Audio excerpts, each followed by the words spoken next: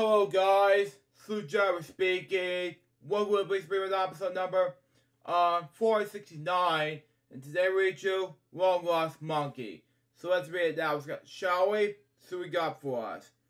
When monkey expert Laura Marsh spotted a live spectrum, I can't, uh, sorry, of, um,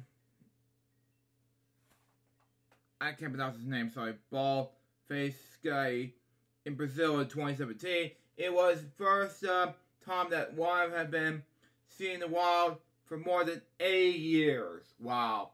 So tell me, believe it or not. And that was this episode. Hope you enjoy it. Stay tuned for the next one. It's going to be Great Shakes.